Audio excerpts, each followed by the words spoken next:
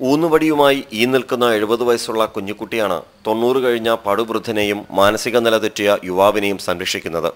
അഞ്ചു വർഷം മുമ്പ് മറിഞ്ഞു വീണ് തുടയെല്ല് പൊട്ടിയതിനെ തുടർന്ന് കമ്പിയിട്ടിരിക്കുന്നതിനാൽ വയസ്സുകാലത്ത് ഒന്ന് ഇരിക്കാൻ പോലും കുഞ്ഞിക്കാവുന്നില്ല. സദാ നിൽപ്പ് തന്നെ. ആറ് മക്കളിൽ ഇളയവൻ അനിൽകുമാറിന് ഡൽഹിയിൽ ജോലിക്കിടെയാണ് മനോനില തകരാറിലായത്. പട്ടിണി അകറ്റാനാണെങ്കിൽ കുഞ്ഞിക്ക് കൈനീട്ടേണ്ടി വരുന്ന അവസ്ഥയും. പട്ടിണിയോ? പട്ടിണിയൊന്നുമില്ല. ഞങ്ങളുടെ കഞ്ഞിയൊക്കെ വെച്ച് കുടിക്കും.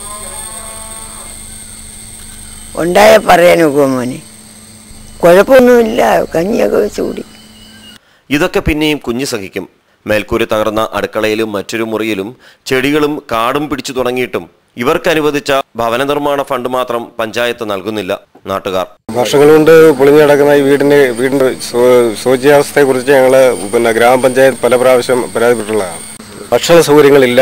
അതുപോലെ തന്നെ പിന്നെ മരുന്ന് ആ ഇളയ പയ്യനാണെന്നുണ്ടെങ്കിൽ വർഷങ്ങളോളം സുഖമില്ലാത്ത ഒരവസ്ഥയാണ് ഇടിവെട്ടിയവനെ പാമ്പ് കടിച്ചു എന്ന് പറയും പോലെ കുഞ്ഞിയുടെ തലയിൽ ഓടിളക്കി വീണ് തല പൊട്ടി. ആരും നോക്കാനില്ലാതെ ഈ മൂന്നംഗ കുടുംബത്തിന്റെ അവസ്ഥ നാട്ടുകാരുടെ മനസ്സിലെ നെരിപ്പോടാണ്. Rajkumar news bureau Kollam.